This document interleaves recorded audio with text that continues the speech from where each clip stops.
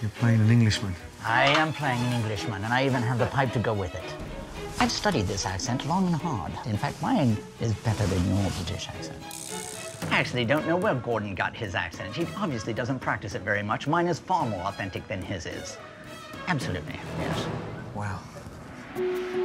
While John prances around as Sherlock Holmes, I wonder what Tina does during these events. Oh my God. What Lovely, have you sir. got on? This is crazy.